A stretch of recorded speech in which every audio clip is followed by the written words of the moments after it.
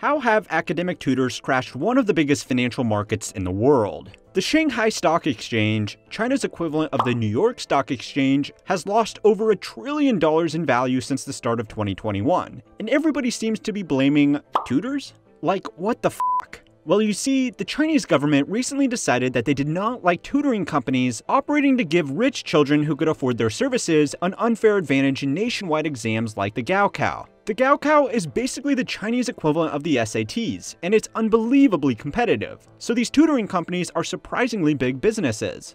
But because of the perceived inequality, the Chinese government intervened and mandated that all tutoring companies must be run as not-for-profits. It was hoped that this would open up these services to poorer children, but instead has basically just crushed the entire industry. This heavy-handed government intervention has investors worried that the businesses that they are invested in might be next, so they have sold up in mass, tanking the entire stock market.